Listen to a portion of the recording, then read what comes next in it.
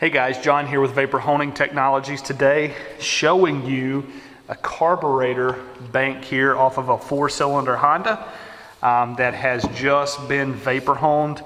And uh, there are a couple things to point out. Look at the rubber, the plastic, uh, excuse me, there's no rubber on here. Uh, actually, yep, there's a piece right here. You can't see it, but the rubber, the plastic, all of this stuff was left on the carburetor bank and we did not damage it. There's actually rubber right here um, where the fuel is, well, this is not fuel here, but the fuel is traveling in over here. There, there's rubber there. It's not damaging plastic, rubber, brass, copper, aluminum, steel. I mean, we're cleaning everything and it's not actually hurting anything on these carburetors. And I mean, you're looking at about five minutes per carb if you want to do a really fantastic job on it. Uh, it's a little more difficult when you have them together like this. Um, obviously, if you can disassemble it as much as possible, it's going to speed up the process for you and you're going to get a really, really good result. But, I mean, you can see the two parts here.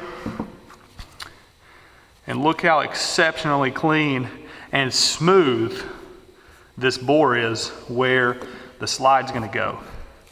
I mean, everything works as planned. I mean, look how clean these things are. And actually shoot down the passageways. That's what I personally like to do. Um, that way I make sure I can break anything loose. Uh, and you can see all the way down through the hole there. I like to break and clean anything loose that could be trapped inside of these carburetors. Um, and then I like to show you how to clean these delicate parts up. And, um, you know, I can show you right now just the easy way to do it, and that is to put it into a dip tank and slosh the parts around. It really helps remove any trapped media that could be anywhere in the part. Um, and you have no idea because some of these blind passageways and holes, the media is all over the place, but you can slosh the part around as you can see there, and it really helps remove that media. Even after you rinse the part down in the cabinet, you know, after you're finished blasting, when you rinse it in like a dip tank and slosh it around, it really helps remove a lot more media that way. And of course, you want to get these parts dry. You want to get them really dry so that there's no moisture, I mean zero moisture left behind on the part. And I mean, these parts are exceptionally clean and dry. And that's the biggest key. I mean, obviously, if you have ferrous metals, you know, if you leave moisture on them, they're going to rust. Um, even with rust inhibitors, a lot of times you have issues with that. That's why people with high humidity um, areas have issues with flash rusting, even using rust inhibitors sometimes.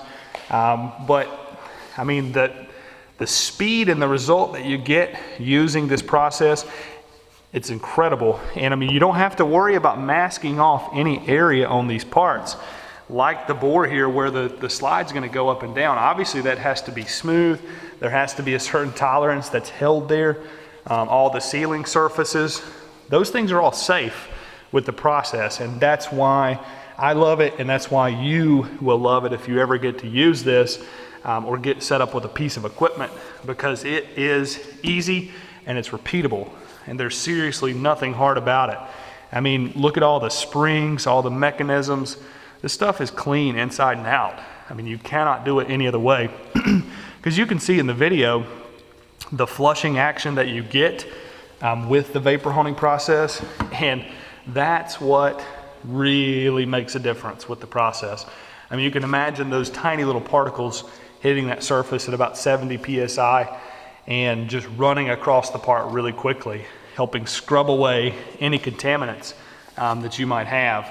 But I mean, you get to see the before and after pictures of these parts, and I mean, it's quite magnificent. Um, challenge you guys to get set up with the process if you do not have a machine.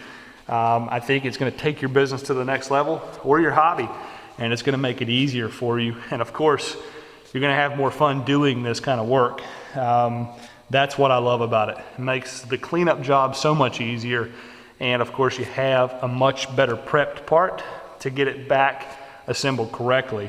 And I think all of you guys know how detailed something like this can be. So I uh, hope you enjoyed the video.